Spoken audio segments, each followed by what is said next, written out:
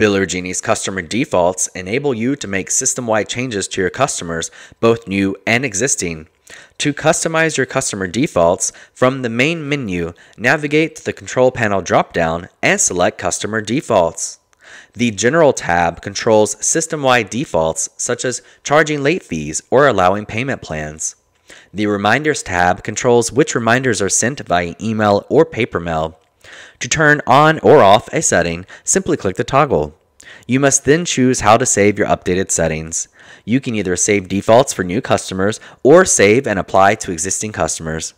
A pop-up will appear confirming your selection. Click the red Save button to save your changes.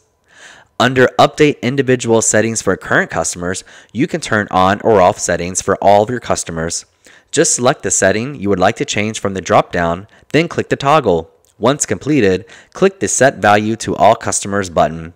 If you have any questions, please don't hesitate to reach out to support.